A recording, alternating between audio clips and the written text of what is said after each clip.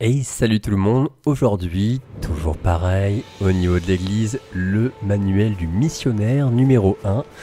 On va l'obtenir euh, près du marchand au niveau de Calais.